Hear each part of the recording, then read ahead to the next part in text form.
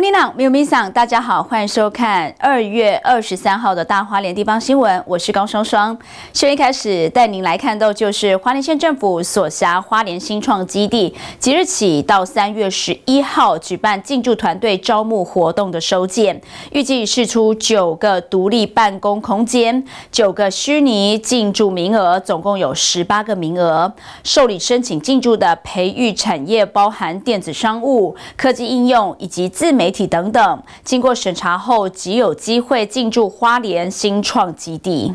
县长徐正伟支持青年朋友在创业第一步走得稳健，并且减轻创业初期的沉重金流压力。除了提供一站式全方位创业咨询和辅导之外，再提出了独立办公空间进驻，并导入了加速器专业辅导，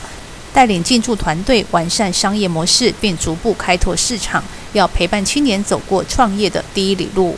县长也推出了我们青年人能够进驻呃地方政府的机关的空间，在空间里面，我们也会有专门的导师给予所有进驻的团队一对一专门的课程的辅导，以及各项创业的各项事务的一些的协助，就是希望他们在创业辛苦的过程当中，因为花莲有一个良好的青年友善创业环境以及辅导。让他们在第一里路里面会走得非常的平顺，然后成功率也非常的高。那我们目前青年人锁定的就是在二十岁到四十五岁之间，然后呢进驻的产业别以目前当下花莲最具优势的电子商务以及科技应用以及自媒体三项主要的产业为进驻的一个目标。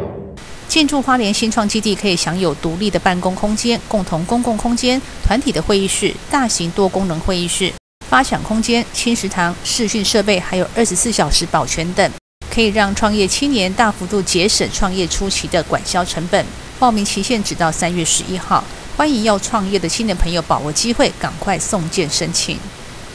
谢鲁会华视报道。